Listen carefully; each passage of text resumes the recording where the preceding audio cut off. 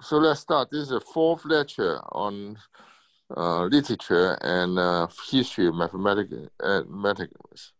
And uh, Peter will chair this, this session. Peter Kronheimer. Thank you. I'm very pleased to be able to introduce our next speaker, Michael Freedman from Microsoft Station Q. His uh, work in four-dimensional topology culminating in the 1980s stands, I think, for me and many others as one of the most remarkable feats of theorem proving we're very glad that he's going to talk to us today on a personal story of the four-dimensional Poincare conjecture. Thank you, Peter. Uh, and uh, thank you, uh, Yau. I, I, want to uh, thank Yau for two things. One, inviting me to give this talk, uh, which really brought back a lot of great memories. And also, um, you know, I have a 40-year debt to Yau. You know, I knew the 30-year-old Yau uh, we were together in San Diego, and uh, he was an amazing force. He still is, but uh, it opened my eyes. I learned uh, how to organize an army of graduate students, um, how to be ambitious um, and generous and bold in mathematics. And uh, I, uh, I, attribute that to Yau's teaching long ago. So what I'll talk about today is the Poincare conjecture, and I already put it up on my wall. Uh, I'll stand away. I hope you can read it. so I wrote it PCN, the Poincare conjecture in N. For any dimension, there's a question, and it turns out now to be a true fact. So the statement is that a homotopy n sphere, I'll write it as sigma n, is actually homeomorphic to the standard sphere Sn. Now, just for simplicity of exposition, let's always assume that the homotopy sphere we're talking about already has a smooth structure. Um, the theorem is actually true without that, but let's just keep things streamlined. It wouldn't be true, though, to say that the homotopy sphere is diffeomorphic to a standard sphere because we've all know about the 28 exotic spheres in dimension seven that Milnor found. And um, the pattern persists in high dimensions. So even if you start with a smooth manifold homotopy to a sphere, the only thing you can expect is to prove it's homeomorphic. Now, for those of you who are not specialists in topology, a homotopy sphere is actually a very simple condition. It's a closed manifold, which is simply connected, and has the homology groups of the sphere. That's enough by the theorem of Whitehead. And homology groups of the sphere means there's just a homology group in dimension zero and a homology group in the top dimension n, uh, z in both cases with integer coefficients. So the hypothesis is simple and the conclusion is simple. That's why it's a nice conjecture. So the theorem was proved in high dimensions, n greater than or equal to five by Smale in 1959. And the work I'm talking about today is uh, 19, from 1981 which extended Smale's result to dimension four. And then I should point out that another 23 years later, uh, Perelman finished the problem by proving the Poincare conjecture in dimension three, completing a program of Hamilton's.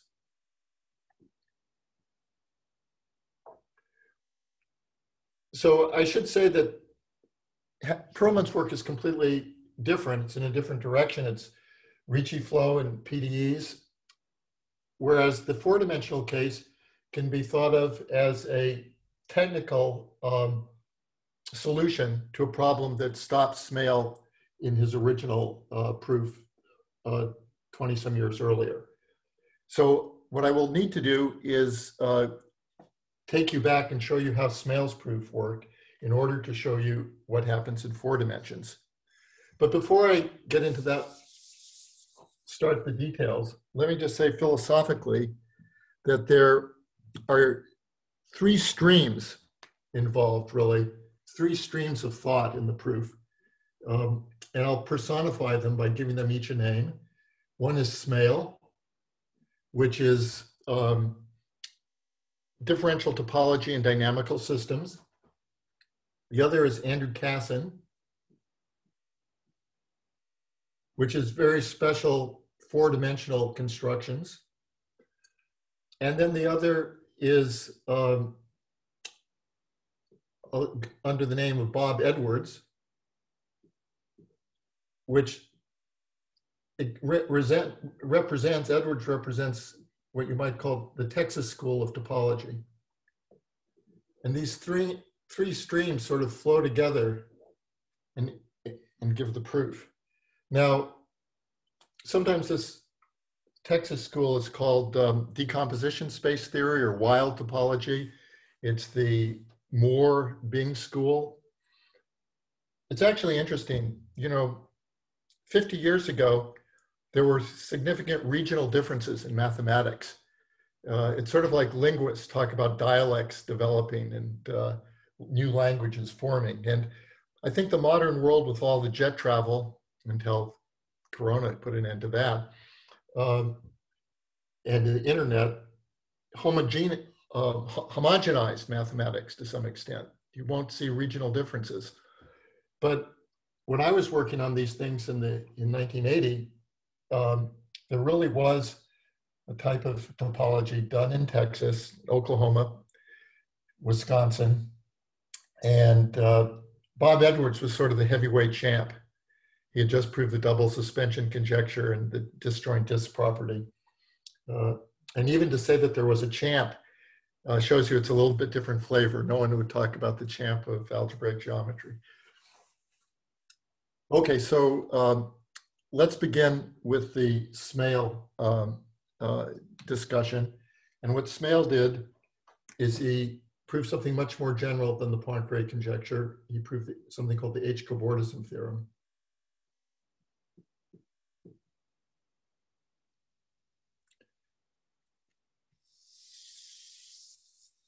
And let me show you what that is uh, in a picture. So suppose we have a manifold W of dimension n plus one that has two boundary components, call it M0 and M1. And suppose all the fundamental groups are trivial. Pi one of all three spaces is zero. And now one other condition that the um, relative homology of W rel M0 is trivial. So there's no relative homology, which means you can deformation retract W back to M0. Then that's the hypothesis. Then the conclusion is that we're in the smooth category. The conclusion is in high dimensions for n uh, greater than or equal to five, the conclusion is that this manifold W is actually a product. There's sort of flow lines from top to bottom. So the conclusion is that W is diffeomorphic to M0 cross the interval, also M1 cross the interval. And the, the way the proof works is the homology can be computed from the relative chains. And we can choose the relative chain complex to be Morse, the Morse cells. So these are the ascending and descending manifolds. Well, actually, the descending manifolds from a, a Morse function. And the fact that there's no homology means that the chain complex is contractible. And the chain complex contractible means that algebraically, there's nothing going on. It's algebraically trivial. You can cancel the chains. The, it's, the chain complex is chain homotopy equivalent to an empty chain complex. So it's algebraically trivial. And the big question is whether that implies that it's geometrically trivial. Can you really geometrically cancel the critical points and make the gradient flow become a product? Well, the simplest example of this cancellation, it's called the Morse cancellation lemma, is like this. Suppose you have a critical point of index zero. I drew it in dimension one.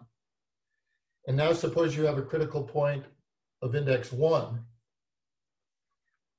And if they if their ascending and descending spheres meet transversely in one point, then anyone can see that they cancel, at least in this pictorial dimension, that this picture can be pulled tight into this picture. And that's called the Morse lemma, Morse cancellation. But in order to do Morse cancellation, you really need to get the geometry right. You really need to make the descending sphere meet the ascending sphere in, in one point. And the information from the chain complex is not quite that specific. What the chain complex tells you is algebraically the ascending and descending sphere meet in a point, but it doesn't rule out the possibility that they really meet in three points with signs plus, minus, plus, for example. So as far as the algebra of the chain complex is concerned, a sphere, this is a picture now in the middle dimensional manifold. This is a picture in the n dimensional manifold. This is like morally the cobordism. And in cross section, you see an ascending sphere and a descending sphere meet. And these will be in dual dimensions. And the chain complex information will tell you that the intersection points should cancel. They algebraically are one. But in order to actually apply the geometric lemma, you have to remove these extraneous pairs. And the extraneous pairs in high dimension are removed by what's called the Whitney lemma or Whitney disk. You say, no matter how high or low the dimension you're in, there's a, a D2, a Whitney two-dimensional disk in the problem. That's because you have points that you want to remove, plus and a minus. You have an arc in the ascending sphere, an arc in the descending sphere. Those two arcs fit together to give you a circle, and you fill in that circle with a disk, and then you use the disk to guide an isotopy, which pushes the red off the black and leaves us a single intersection point. So this Whitney disk is a beautiful thing, and it works very conveniently when Smale was in high dimensions and five or larger. But if you're in 4D, there are specific problems that new problems that arise. So I want to now start focusing on four dimensions. So that means this picture I've drawn for you is in a four dimensional manifold. This ascending sphere is a two sphere. And the red descending sphere from its critical point is another two sphere. And in a four manifold, of course, two spheres will meet generically in isolated points. The algebra will line them up in a way that algebraically they cancel to a single point. But now we have to find this Whitney disk. Well, there are various problems because of the dimensions. The Whitney disk um, might, in its interior, cross these two different spheres. It might cross itself because it's two-dimensional material. All these things are two-dimensional in four space, so they'll generically have point intersections. So this was the state of the art until Casson arrived. So 1974,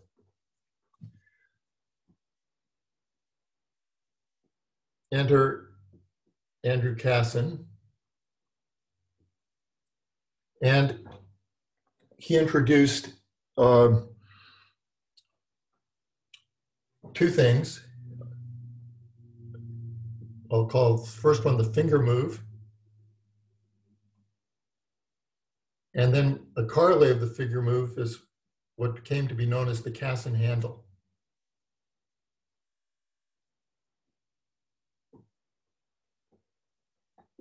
So the finger move is a very simple idea. Uh, and let me introduce it to show you how it might be useful in solving a problem.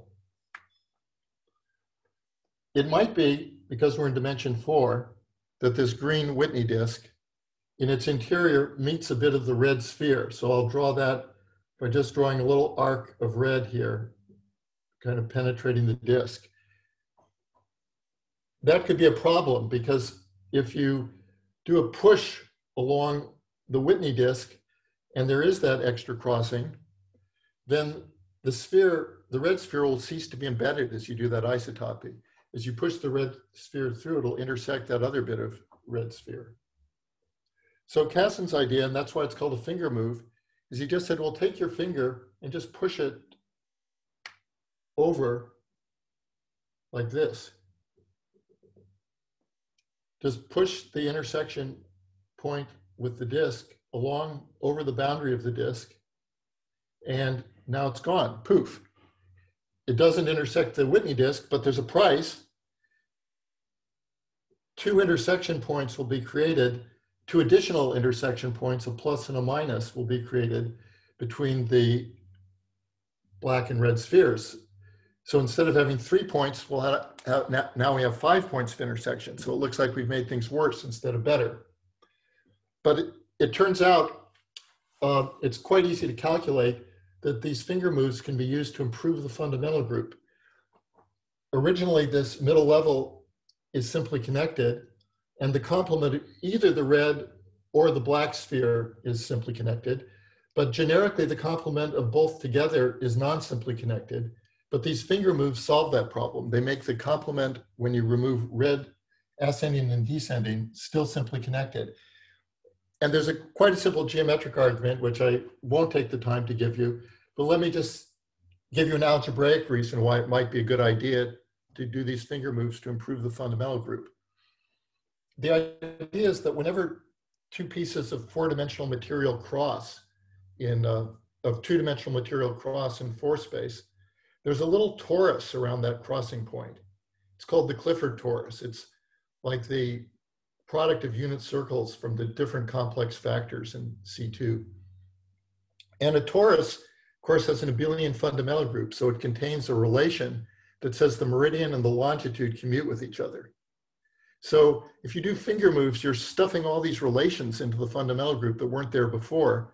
So it's not surprising that after a while you may succeed in abelianizing it. And in this case, uh, it was a perfect group to begin with, so it becomes trivial when you abelianize it.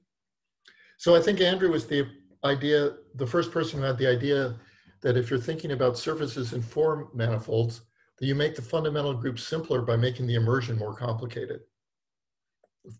So now that very quickly led to the idea of a Casson handle, which is a continuation of this uh, uh, idea, because once you fix the fundamental group up, there's still a problem getting the Whitney disk embedded. Why should, how can you prevent it from crossing itself?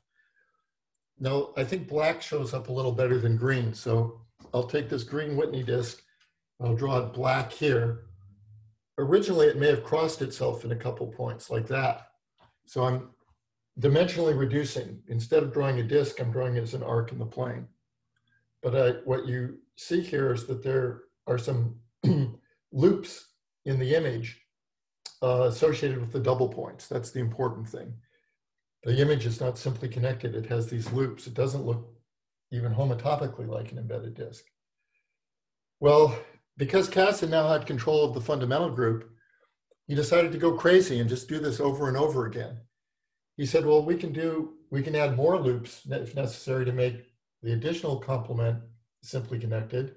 And we can try to solve the problem of these double points. We can try to make it contractible by putting in Whitney disks to kill each uh, double point. But the same fate awaits the second level Whitney disks, which is they're not embedded. But Casson was not timid, so he just went on. And he said, well, keep adding. And you get some kind of branching, growing structure, which he, he just took to infinity and took a tapered neighborhood. And he said, that's a Casson handle, all abbreviated CH.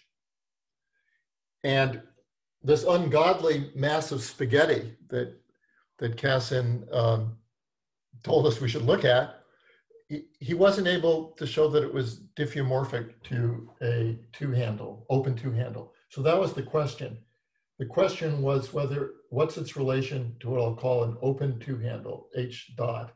And H dot in coordinates is a disk cross an open disk, comma, its boundary, boundary D2 cross open disk. So it's it's a handle, uh, it's a regular two handle in dimension four, except made open by uh, sort of shaving off the boundary of the transverse factor.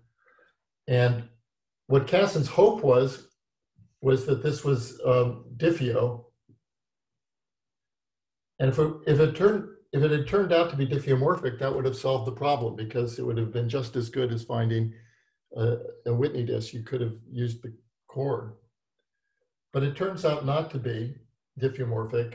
Uh, what Casson was able to show is that it was proper homotopy equivalent.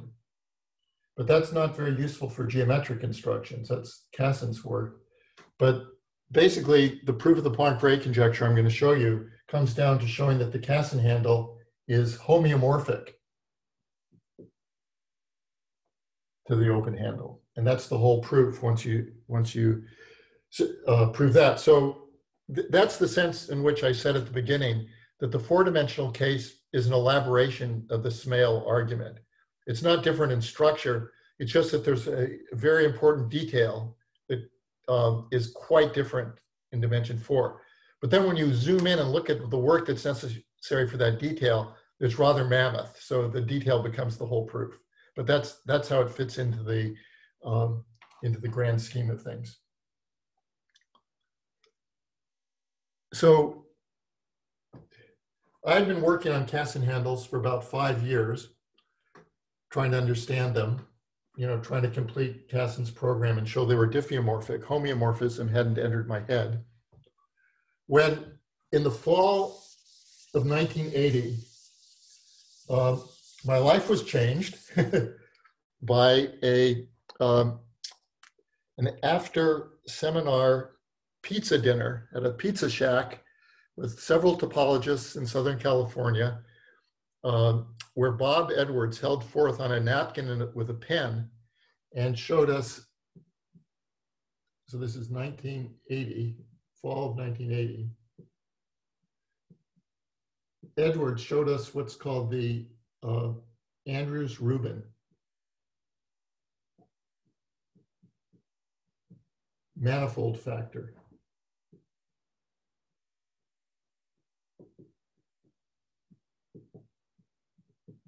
So I'll tell you what this is, and then I'll explain what it has to do with Casson handles.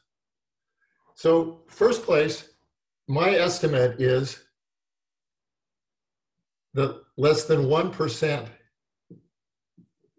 of mathematicians, say people with a PhD in mathematics, know what a manifold factor is or have ever heard of it. Uh, now, if this was a in-person lecture, I would ask the audience for a show of hands.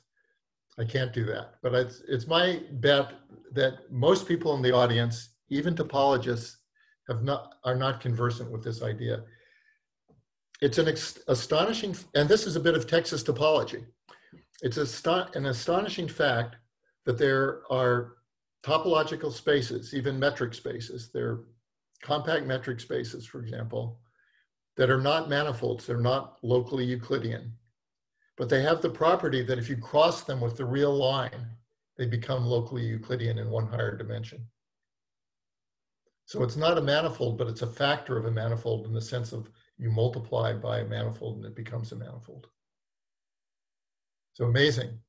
So uh, let me show you the Andrews-Rubin manifold factor. What it is, it's the solid torus S1 cross D2 modulo a compactum called the Whitehead continuum, just to note it this way. So the best way to explain what the Whitehead continuum is, is to draw a picture of it. So here's the solid torus.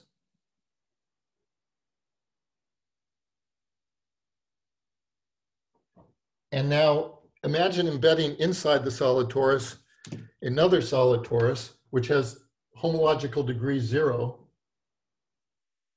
but goes around twice in a sense. It's modeled on the uh, Whitehead double of the core circle.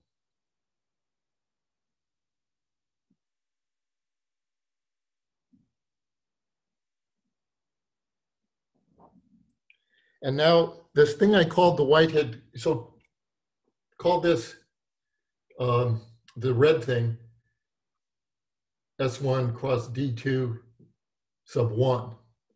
And what the Whitehead continuum is, it's the infinite intersection I 1 to infinity of these solid tori going deeper and deeper in.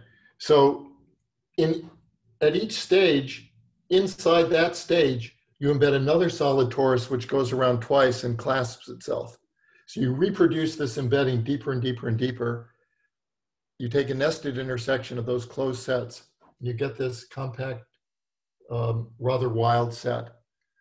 And if you crush it to a point, take the quotient topology, that's what this slash means, then it turns out that this is definitely not a manifold, but if you take its Cartesian product with the real line, it is homeomorphic to S1 cross D2 cross R.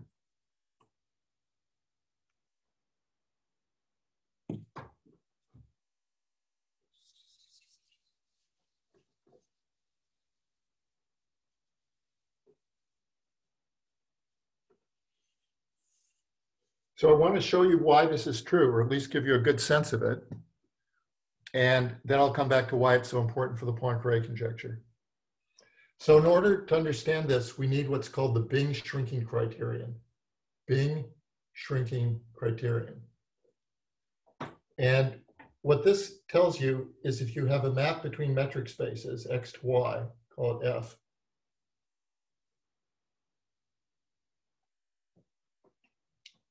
then this, the criterion says that f is approximable by homeomorphisms if and only if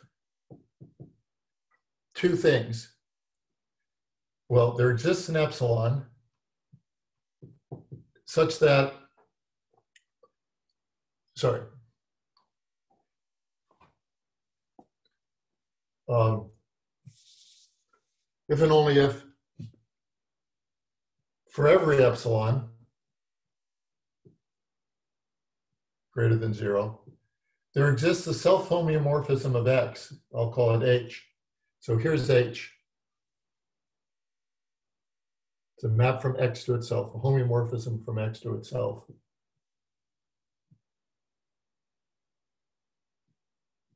Such that two things. One, um, the diameter of H applied to point preimages, F inverse of little y, is less than epsilon for all y. And second, that the distance between the original map F and uh,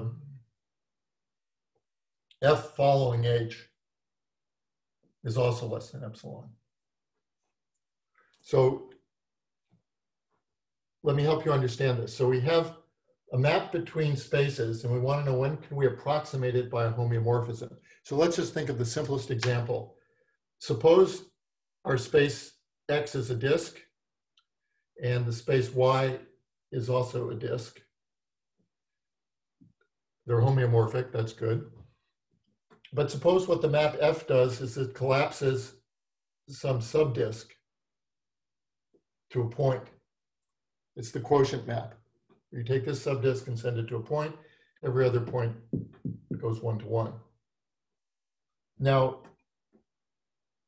this map you can see can be approximated to a homeomorphism because all you need to do is change the map a little bit so instead of the image of this disk becoming a point, it's just resolved slightly to become a small subdisk here. That would be the approximation. So the criteria for when you can approximate, approximate maps by homeomorphism is that you should be able to find this self-homeomorphism H on the source, which shrinks, it's called a shrinking homeomorphism, which shrinks the offending set, the set that wasn't a point, the big set or the big sets that are non-point preimages. It should make those sets, um, that's the first criteria, become very small. And you can easily imagine a homeomorphism that um, of the disk here, which shrinks this disk, the subdisk, and makes it small. So one is okay. And the second says that these shrinking homeomorphisms, we're going to need to take a limit to get the final homeomorphism to prove the Bing shrinking criterion. So these F's should not be, the, these shrinking H's should not be all over the place. And that's this condition that um, in, as measured in the quotient, uh, F should be near the identity. H should be near the identity.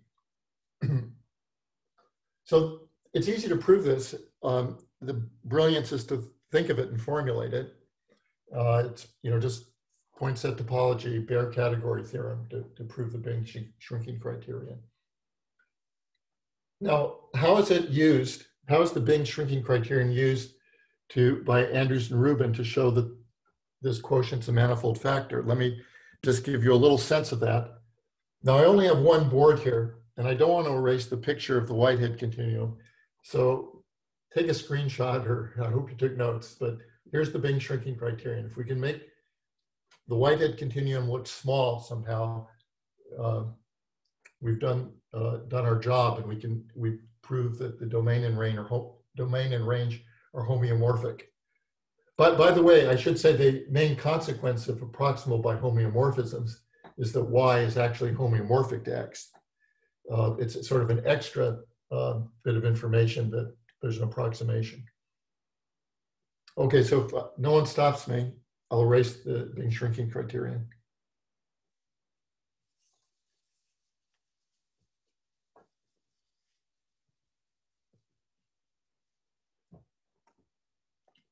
Okay, so I want to draw a picture of the solid torus cross I for you, but I have to compress it dimensionally a bit. So here's the solid torus, if you don't mind. And now I have the solid torus actually cross R.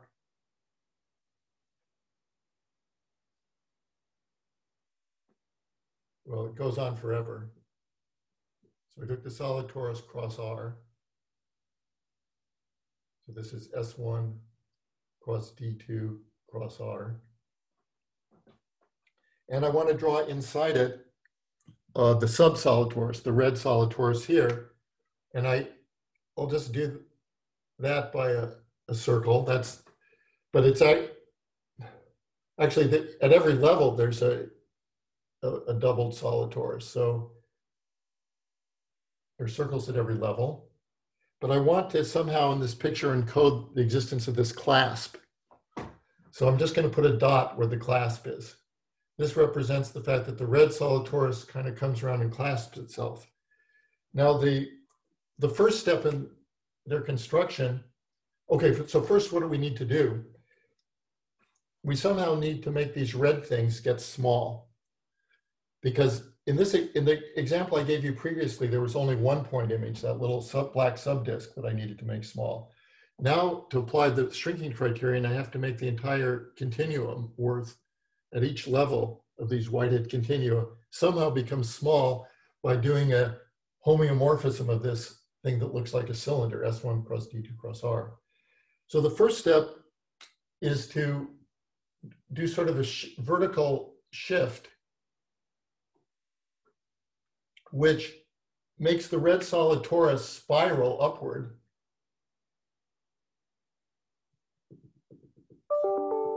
So it, it links itself rather than, uh, sorry, links the next uh, one higher up rather than itself. You see, this is the freedom we get with the extra dimension. In three space, there's a clasp. In four space, well, you can undo a clasp. You can raise it up in the fourth dimension. But it doesn't, the clasp doesn't really go away. It means it clasps the solid torus at a higher level. So in a way, this just kind of pushes the problem to draw this um, spiral. But then the brilliant idea is to twist. If you just do a very vigorous twist on this sort of cylinder looking thing,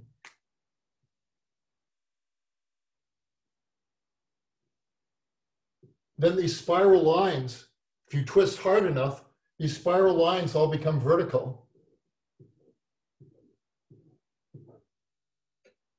Right? It's the barber pole. You untwist the barber pole. And then these red subtori just become very small segments on these lines. The length of the segment is the amount of height that you raised the beginning with respect to the end. So what we've done by this composition is we found the H in the Bing shrinking criteria, one of the H's. We found a homeomorphism that made even the first stage of this infinite intersection rather small in diameter. Now you have to repeat the process deeper and deeper in the nest with smaller and smaller vertical shifts in order to get the sequence of homeomorphisms uh, which do the job for every epsilon. But this is an example of the kind of geometric thinking that goes on in this field, which used to be called Texas topology. And um, it showed that this space um, was a manifold factor. Okay, so you've all been very patient uh, with my talk about manifold factors. I left off talking about Casson handles. You must be wondering what in the world do manifold factors have to do with Casson handles. So that is what I will explain now, maybe leaving the Whitehead link picture up for a second. So as I said, I've been working on Casson handles at this point for about five years on and off. And one of the things I've learned is that the Casson handle is literally alive in the sense that it can reproduce. It can reproduce itself. Another way of saying this is six implies infinity. What I mean by this is if you have a Casson handle of sufficiently large height, and in those days it was six, I think it's been refined to four now. If you have a Casson handle three, one, two, three. We don't have to go to infinity. We just have six stages. And I'm not drawing the branching possibility, but it could be branching. Then it turns out that just in this compact manifold, if you take a thickening of this, you can produce inside it, so call that a Casson handle of kind of height six or Casson tower of height six. You can produce in it a Casson handle of height n for any n greater than six. So somehow you can produce a seven stage tower inside of six and an eight and a 10 and so million. And the, the proof of this, I won't take time to show you in detail, but it's more of this Casson finger move technology. The idea is that, you know, finger moves are good for making fundamental group and are making fundamental groups simple. And if you do enough finger moves, it turns out low down in the tower, you can find immersed dual spheres to the stages of the uh, tower. So you can find S2s, they're self-intersecting, but dual.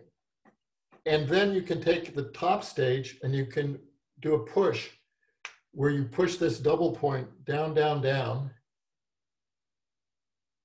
and when it hits this, it bifurcates and becomes two double points. You keep pushing four, eight, 16. When you get here, the double points can be piped into, they can be joined to copies of this dual sphere. And what it does is it creates a new embedding of the six stage tower, but instead of the kink being at the top, where the fundamental group is not killed, Instead, you have a billion kinks, but they're down here in the bulk of the handle where there, all these loops are trivial in fundamental group. And that's what enables you to add then a seventh stage because you produced a six stage tower inside the original one where the loops at the top are still trivial. So this is, was a combinatorial argument and it meant that, in my mind, that the handles were alive. They could, but the immediate consequence is geometric control.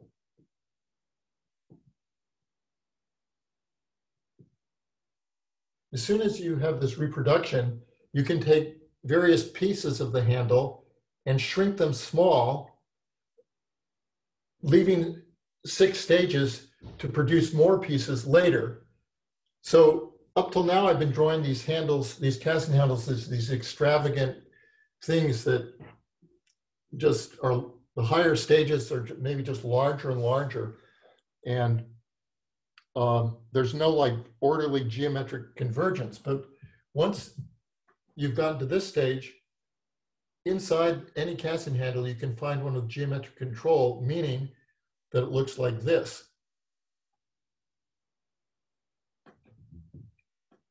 Means that the successive stages become smaller and smaller. And now you can take a tapered regular neighborhood of the whole construction and you get a you get a the whole thing is compact now instead of non-compact and you have like a nice attaching region at the bottom of the handle sort of the lower boundary which is an s1 cross d2 and then you have this weird frontier which is the dual boundary well i had already drawn pictures of this frontier using the Kirby calculus. And the frontier, call it FR minus, turned out to be this guy.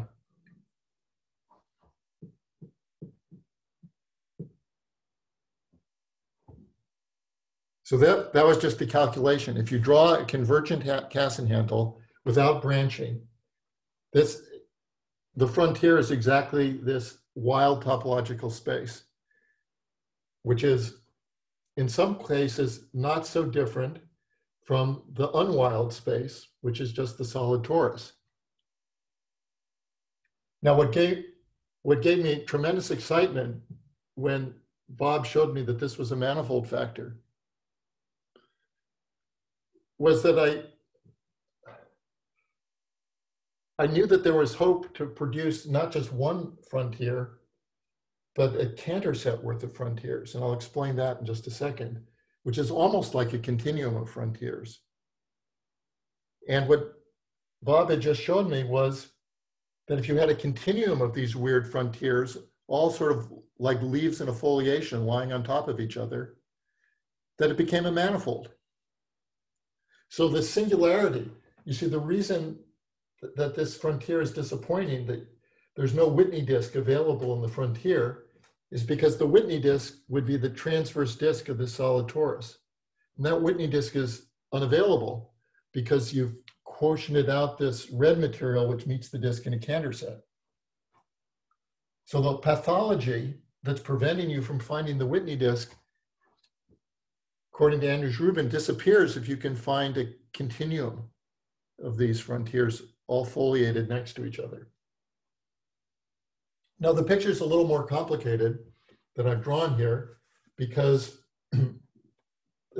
with even with geometric control, the Casson handle um, doesn't limit really to a wild point. It limits to a wild Cantor set because this case, the simple case is when there's only one double point at each stage, but there might be many double points at each stage. So usually the limit is going to be a Cantor set. But it turns out that's no problem. If you, instead of having one solid torus at each level, as you go down this nest, you could have n solid tori or ni solid tori at the ith level, and the limit would be a Cantor set of, of uh, non-trivial decomposition elements. And the Andrews-Rubin argument still works. That's still a manifold factor, that quotient. so this led to the construction, and now I, I think I'll erase everything, of kind of the key um, the key object inside the Casson handle, which allows its analysis. And somehow that got the name the design because it's like some Middle Eastern, like a Turkish uh, labyrinth or or Iranian rug or something. It's I'll just call it D for design. So what the design is, it's kind of a foliation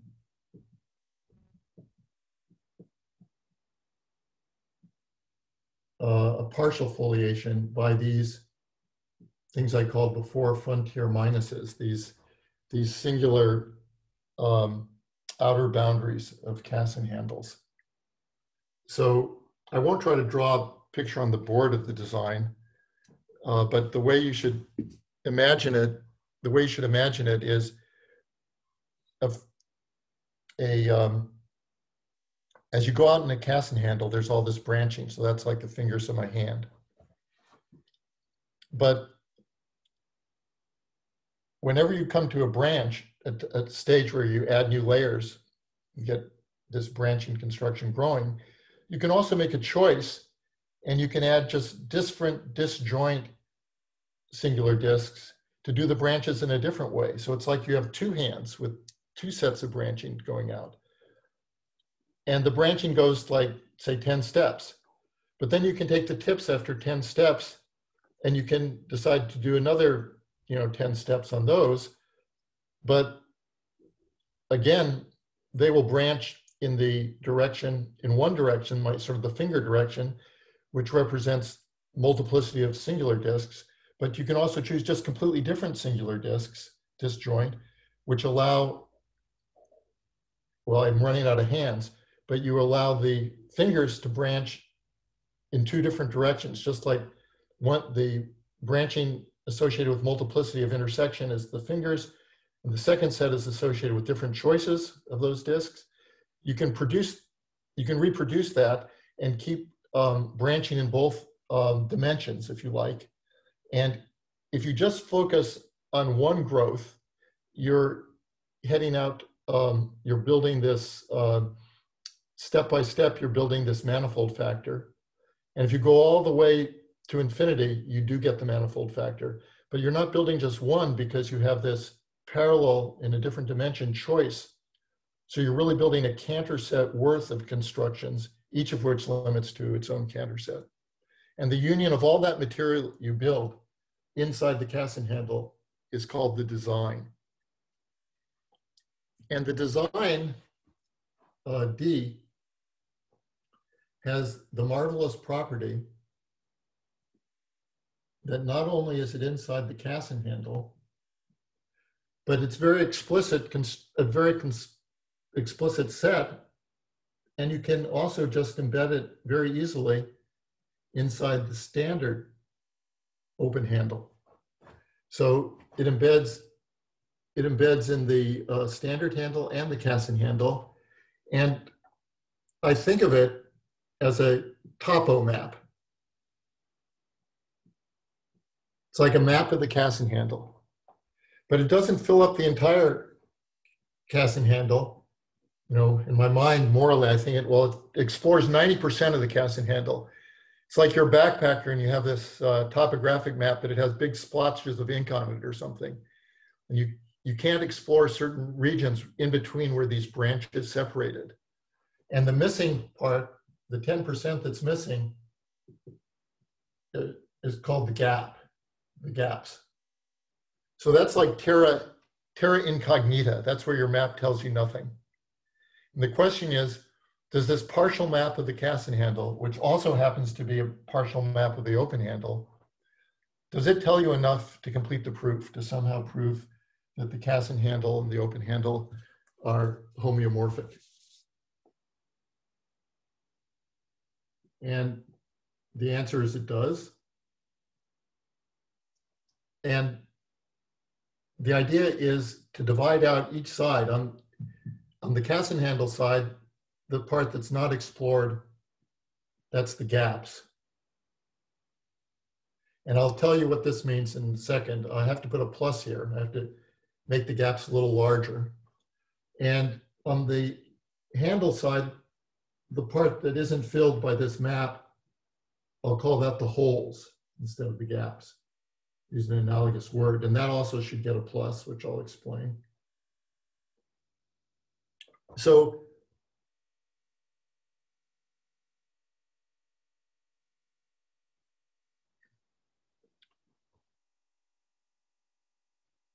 Well, actually, I, I shouldn't draw the diagram this way. What I should, yeah, so the, the point is going to be that there's a common quotient Q to both the open handle and the Casson handle. So I guess the correct notation for this is this quotient map, which I'll call P2, is obtained by dividing out by the unexplored material. It's obtained by dividing out the gaps plus. And this quotient map here, which I'll call P1, is obtained uh, by dividing out by the holes. Plus.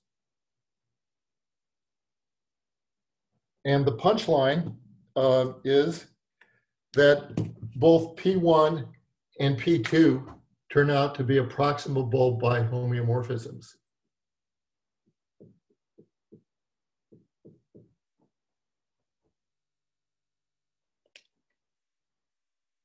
And in this wild topology, that's usually the way you find a homeomorphism. You find that some decomposition map uh, uh, can be approximated by homeomorphism. But at, at this point, after we know they're approximable by homeomorphisms, the approximation aspect is not relevant to the final statement.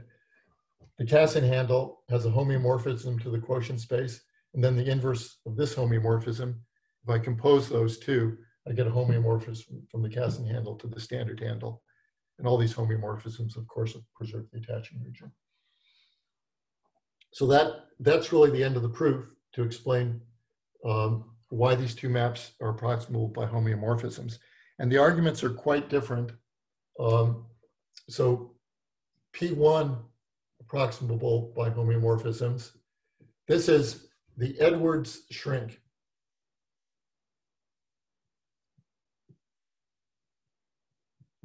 And it's it's an explicit shrink. It's completely explicit.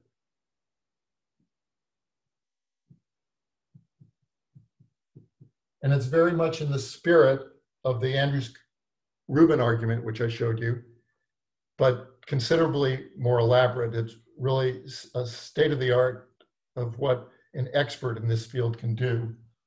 And you have, but the point is, when you embed the design into the standard handle, everything is completely explicit.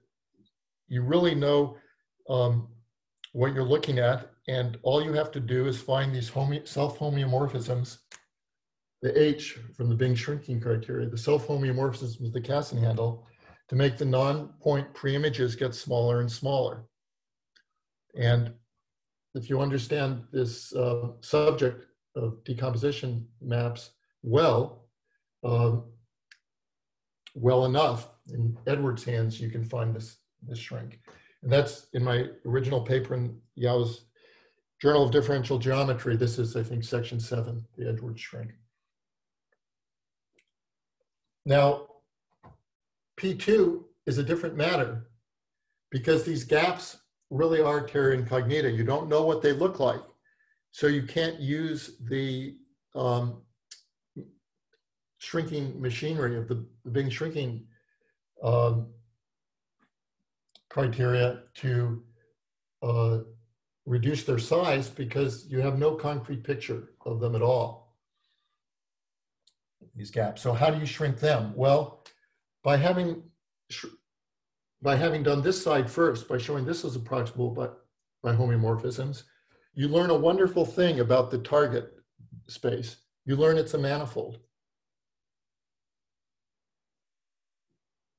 Actually, you learn it's homeomorphic to this open handle, but all that we'll need for P2 is that this is a manifold. Now, it turns out that sometimes so this one is sometimes called the blindfold shrink. Because you don't really see what you're doing. All you really know is two things. This is what you know. You know that um, the quotient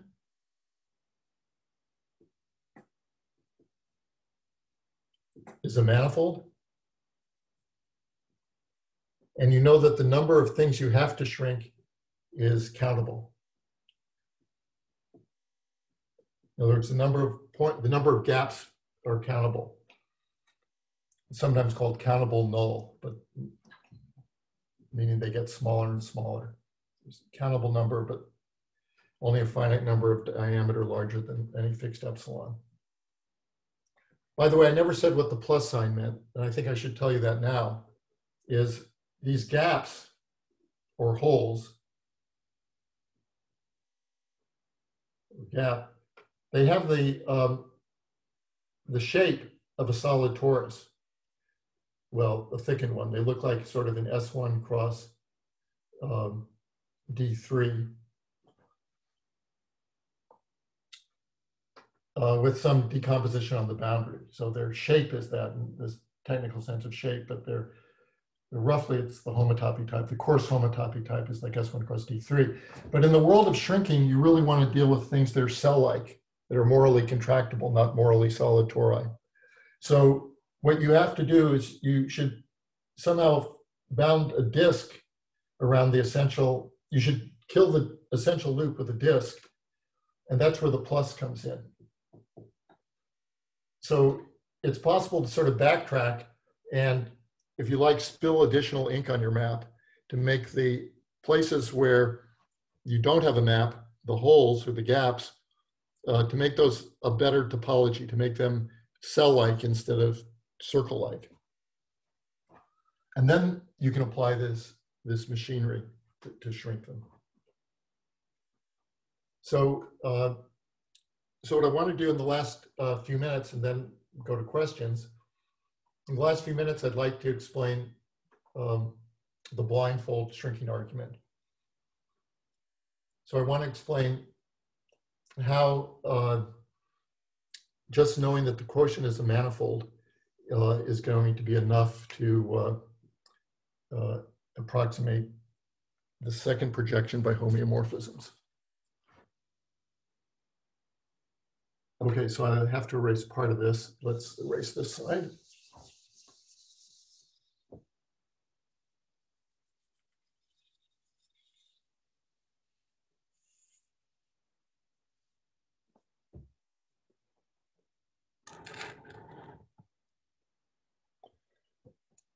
So, um, so this is this last part is to show that P2 is approximable by homeomorphisms. So what, what does P2 look like? Let's just draw a picture of it. Just kind of draw it as a graph. Um,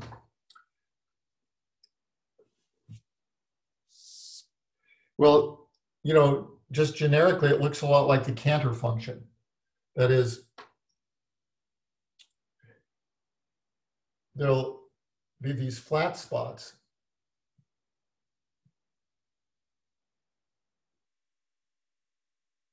Near the, sort of near the uh, boundary, there's nothing exciting going on. It's just a nice homeomorphism. But there are these countable number of cells, sets that are bigger than points that are mapped to points in the quotient. So this is a graph. So here's the Casson handle down here. And here's the um, the quotient, which we now know is a manifold over there. And, you know, you should think that, let me just draw underneath the axis since I'm reducing the dimensions quite violently, you know, four. This is an eight dimensional picture here. It's the graph of a function from four to four dimensions. But let me try to draw sort of a diagram underneath this flat spot that corresponds to there being some set and then maybe there are other sets around it that are taken to points. And now over on this side, um, there's you know, some collection of, uh, you know, points. Let me put the Q over here.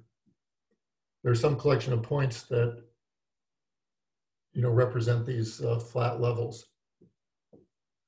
Okay, so now our the game is to, um, well, in one dimension, this would be easy. Suppose you started with the Cantor function and you're asked to find a homeomorphism that approximated the Cantor function. Well, you could do it, you could just kind of wiggle it or something. And that would solve the problem, right? That would solve this problem of taking this decomposition map, which crushes these middle thirds to points and uncrush them, you know, produce a nice um, continuous monotone function approximating the Cantor function. And we have to do something like that uh, in this abstract context. So the idea is to work on the biggest flat spots and get rid of them. That is, make them make the function monotone, make it homeomorphic in the neighborhood of the flat spots. And we'll see that when we do this, we create some damage. We create little vertical spots.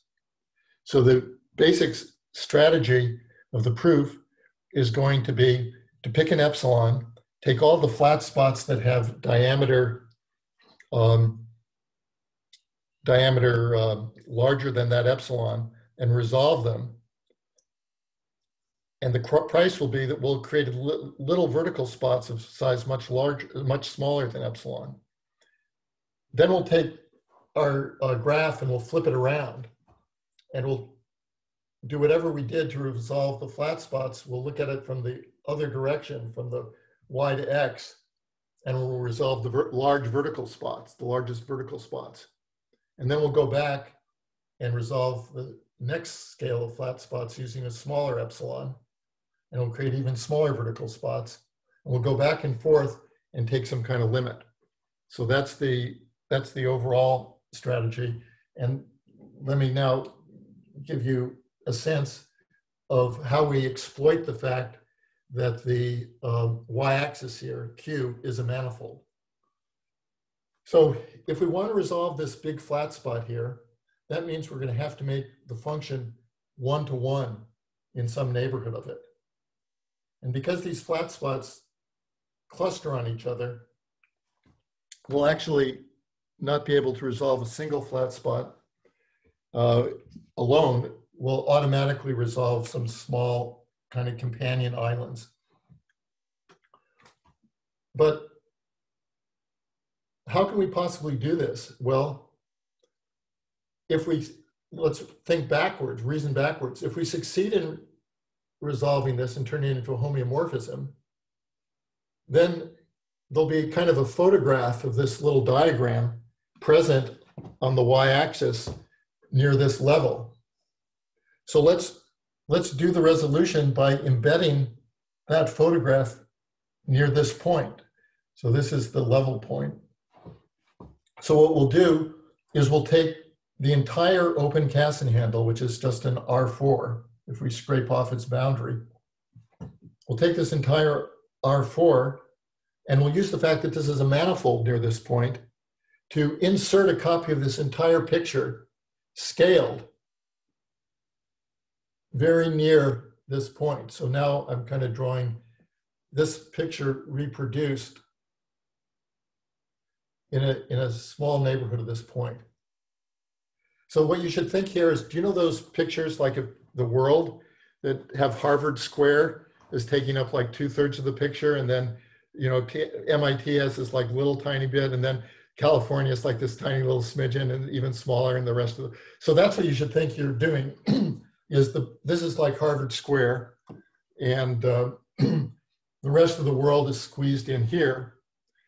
And now once this picture is drawn here, then it's quite obvious how to make the function one-to-one on this in these red parentheses.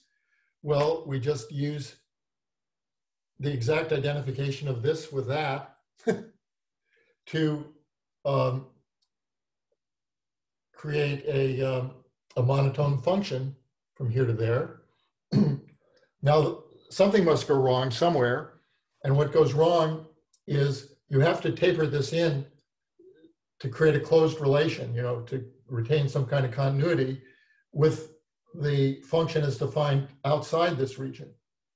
And the way we do that is we take this R4 and we pull it into this very small ball.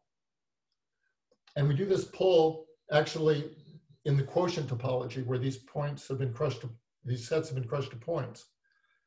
But this push um, is what allows you to continuously taper this construction near the flat spot into the original function continuously. But what this push does is occasionally will take an isolated point that's just a point and it will drag it into a decomposition element which is bigger than a point. And that will have the disturbing effect of sending this point not to a point like a function does, but it'll send it to the entire copy of that decomposition element in the y-axis in the fiber here. So that means that when while we started out with a function, when we play this game, we lose the fact that it's a function and we make these things that I referred to as vertical spots. That's places where it's become a relation. So it looks like maybe we've really screwed up because we started with a, a function, we were trying to make it a homeomorphism. And the first step of this infinite construction, we lost functionality, it became a relation. But it turns out it's not serious because by controlling these epsilons, you can make the amount by which it's not a, not a function, you can make the size of these vertical steps as small as you like. So then it's a rather routine limiting argument. You just take neighborhoods of these successive relations, doing, as I said, the back, forth, back, forth, each time patiently sort of shaving off the biggest flat or vertical spots that you have at that stage of the construction. and at the end, you just take an infinite intersection of all these uh, neighborhoods of relations and argue that it has its thickness is zero. The relation has thickness zero measured horizontally and thickness zero measured vertically in the limit. All the epsilons go to zero. And that's exactly what a homeomorphism is Homeomorphism is a function that is a relation that when you graph it has zero thickness in, in both directions. So that's, um, that's sort of the denouement, that's the blindfold shrink. And with that, we have the homeomorphism of the Casson handle to the standard open handle. And then we can just plug it into Smale's proof. And the Poincare conjecture works now in dimension four with the caveat that even if everything started out C infinity, all conclusions which happen after the, these shrinking arguments, all conclusions are only in the topological category. So even if all the data was smooth to begin with, the Whitney disks you find and their thickenings are just have topological coordinates around them. So when you do the isotopies that Smale or Whitney would tell you to do, now they're all topologically flat isotopies instead of smooth. So um, this is irretrievable that you've lost this. And the amazing historical fact is that Donaldson came along within six months of this argument and proved, um, probably without intending to, maybe not even knowing this argument, he proved the necessity of using this Texas topology for this problem. He proved that there was no smooth construction of, um, no smooth way to trivialize H-cobordisms. So I think I should stop here and I'd be happy to talk with anyone about questions. Thank you so much for a fantastic talk. Um, there's a couple of questions already in the chat. Um, there's the question and answer, the Q&A as opposed to the chat, which I think is the preferred routine for adding, uh, adding to the discussion. But perhaps I can just read out um, first question that popped up here from Andrew Nevedomsky he, he writes, you describe the proof of the as homeomorphic to handle as, quote, mammoth-like. And he asks, historically, how long did it take for experts to review the proof and agree that there were no loopholes? And was there a specific part which... Um... oh, okay. Well, this is, this is sort of an interesting story. So, uh, you know, I, I said that Texas topology is kind of a contact sport, uh, like uh, heavyweight boxing or football. And uh, when uh, I thought the uh, proof, uh, you know, was there, I made an arrangement to, with Andrew Casson to Austin, Texas, where it was the subject of this really wonderful week-long seminar. Bob Edwards came out with me to the seminar, and he actually gave the proof. you spoke on the proof of the P1 shrinking. Uh, I had the feeling when I was giving these lectures, my feet hurt, by the way. I'm a long distance runner, but this is the only time my feet have ever hurt. Not running marathons, but giving um, 10 hours a day or eight hours a day of lecture week. But I, I had the feeling that um, all the time I was speaking, there was someone in the audience who knew what I was saying better than I did. That all these topics that come in uh, are the um, subject, you know, of decades of investigation. And I was quite a, quite a neophyte, and I had managed, you know, with Bob's oversight to piece a, a path through these. But um, there really was a very strong community uh, that understand the proof better than I did. People like Mike Starbird, Jim Cannon. Jim Cannon, I should actually say, uh, helped me formulate this blindfold shrinking argument in a, a, way that was closer to the existing literature, closer to Morton Brown's proof of the Schoenflies theorem, which was easier for people to understand. So there was Frank Quinn and Rick Ancel and Mike Starbird. So there was really a lot of scrutiny at the, in Texas.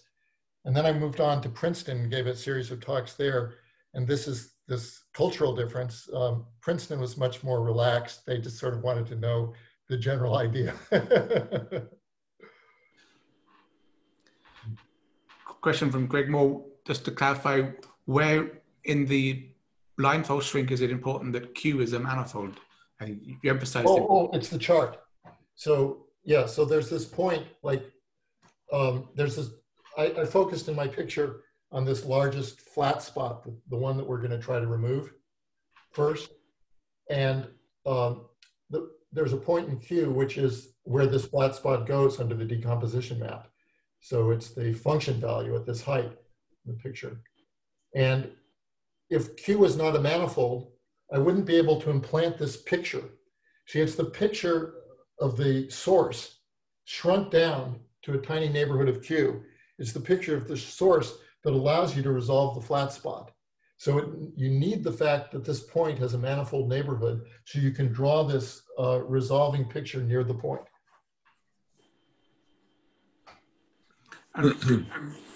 what is known about the class of spaces that are manifold factors? Is there a simpler structure to these in higher dimensions than lower, or hmm. is there anything uh, classification? Yeah, yeah. Let's see. Um, uh, I think in many dimensions, it's known that um, I, I, think in all in I think in all cases it's sufficient. Oh, just a second. Yeah, yeah. I, so, by, by the way, um, a very important theorem in this regard uh, is sort of the endpoint of this double suspension story. So, uh, I think in the late 70s, Bob Edwards proved that the double suspension of the Poincare homology sphere, uh, or maybe he used the Mazur manifold, but one of those two spheres, homology spheres, he proved that that double suspension was S5. And that's really important and it gives examples of like non-PL triangulations of the five sphere and the recent resolution of the triangulation conjecture by, um, who, who was it? Uh, Manolescu, yeah. Uh, you know, it's all about, you know, that end of the world. And anyway, so Ed, Edwards proved this specific sphere, its double suspension was S5. And then Jim Cannon, you know, in this kind of uh, um, professional wrestling atmosphere, one upped him, you know, and showed that the double suspension of every homology sphere um, was uh, a, a, sphere of two higher dimensions. And then Edwards came back and one upped him by proving the disjoint disk property, which is it characterizes exactly when um, a, a cell-like map, a cell-like quotient of a manifold uh, is itself a manifold. And it, the criteria is that in the quotient space, um, if you have any two maps of disks, you can perturb them to be disjoint. See, that's easily true in a five manifold, but in the quotient of a five manifold, that's not clear. But Edward showed that that little bit of general position was exactly in dimensions five or higher, exactly what characterized the quotient as being a manifold. And now with Edwards' theorem in hand, you can answer the question I was asked, which is, can you characterize manifold factors? So the first thing that follows from that is if something is a manifold factor, you don't have to cross with like a six manifold to make it become a manifold. It's sufficient to cross with R1 because you can use that extra coordinate to separate the disks. So it's an immediate consequence of, of Edwards' theorem. And now, which quotients are um, which quotients are manifold factors? Uh, I think Frank Quinn, um, yeah, in principle, Frank Quinn addresses this. Um, you know, there's something called the Quinn obstruction. Uh, he has a paper from the 80s uh, analyzing, uh, given a, a cell-like map uh, to a space, sorry, um,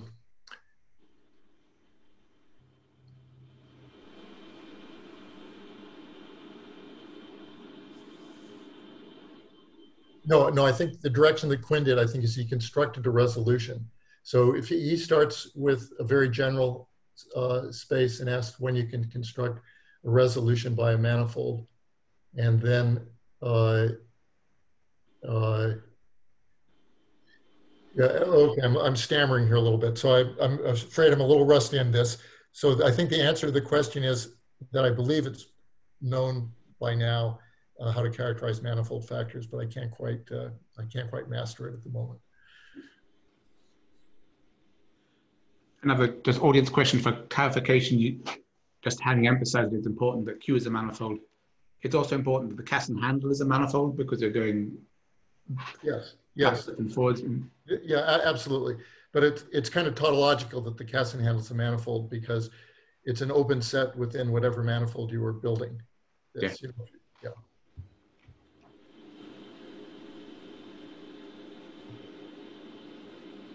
Another question is what happened to the Texas School of Topology?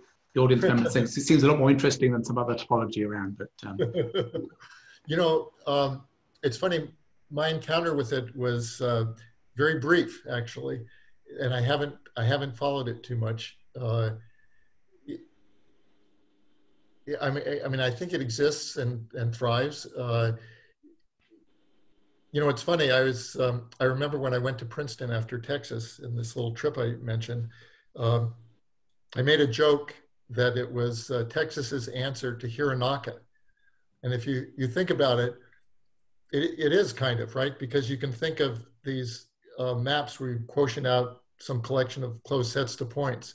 You can think of that as a very general kind of singularity. And the whole question is, you know, when can you remove that singularity? You know, in, in this case, it's by approximating by homeomorphism. Uh, so, uh, you know, I mean, I, I, that, that was a little bit of a, a wink, right, at the sophistication of the, of the Princeton audience, because to compare uh, this kind of mathematics to algebraic geometry, uh, you know, is uh, intent, intentionally outrageous. but I think what it, you know, what I learned from this is um, mathematics.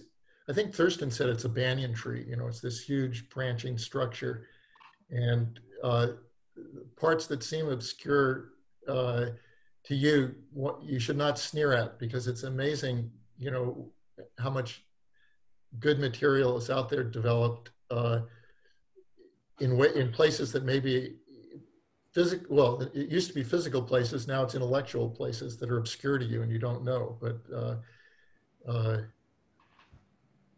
I mean, the you know the other passion in my life, which has been quantum computing, uh, evolved for me out of the combination of two completely different fields. You know, it was one Witten's analysis of the Jones polynomial in terms of uh, quantum field theory, and the other was this complexity work of uh, people like Jaeger uh, studying uh, how long it would take to simulate evaluations of the Jones polynomial, or approximate evaluations of the Jones polynomial. So I've had many times in my mathematical life where um, subjects which are normally can well from from point of view A, B is considered obscure and probably the other way around.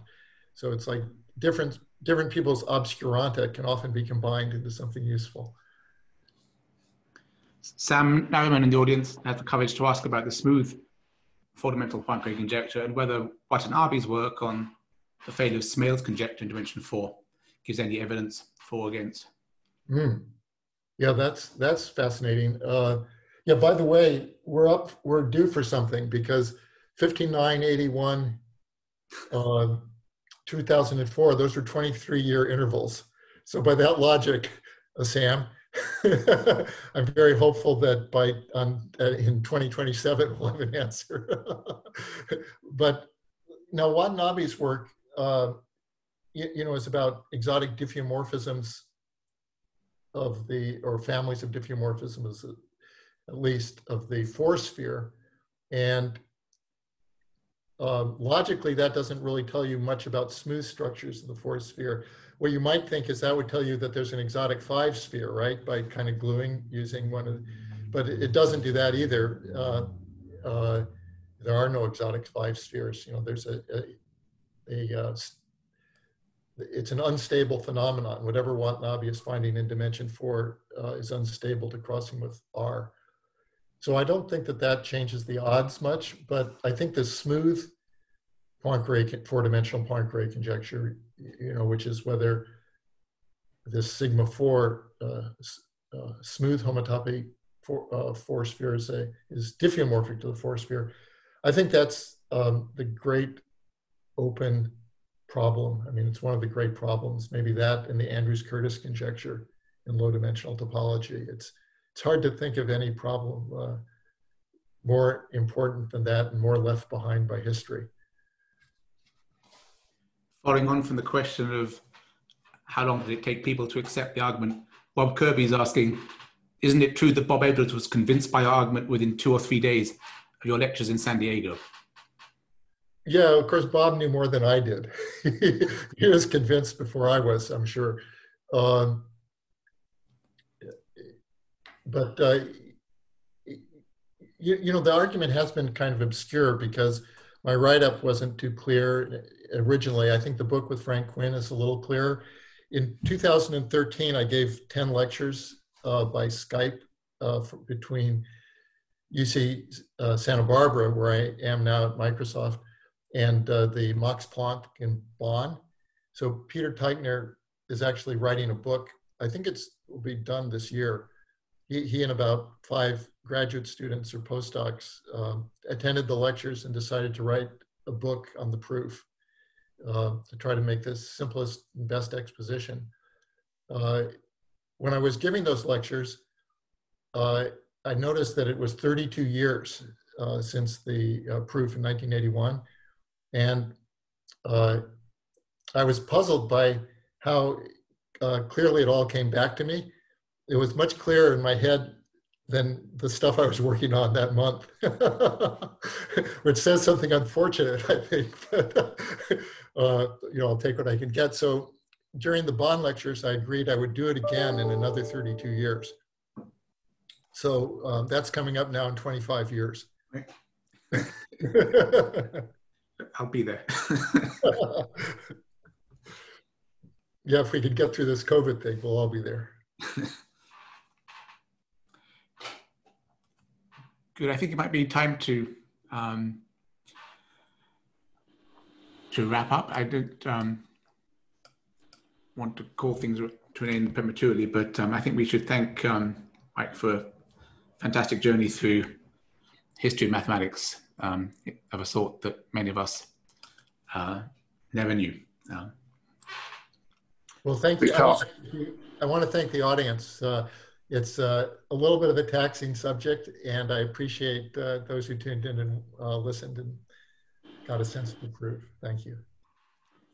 Yeah, thanks, Mike. That's a very good talk. and thank you, Yau, for 40 years of influence. Right. By the way, Yau, I'm working on PDEs right now. Oh, great. it took me a too. long time, but now I am. I, I finally see why you would like them. I see. I see. Good. Yeah, I hope to see you sometime soon. Absolutely. Harvard Yeah, will be right. my first stop when I can get out of here.